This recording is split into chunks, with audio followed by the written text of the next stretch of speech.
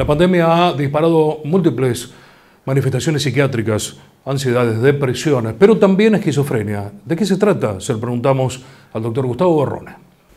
Bueno, la, esquizofrenia es una patología del desarrollo en donde entra dentro del grupo de unas enfermedades que se llaman psicosis. Psicosis es eh, cuando se rompe el juicio de realidad.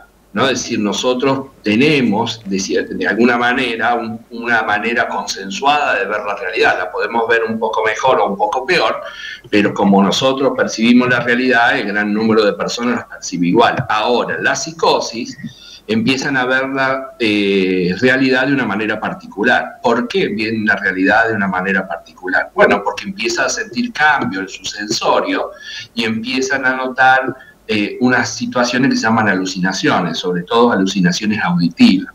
Ellos escuchan voces que le dicen o que comentan sus actos o que le imponen hacer ciertas cosas. Esto produce, además de una serie de números de, cambios en su sensorio, produce una alteración en la sensopercepción y una, una alteración en su personalidad.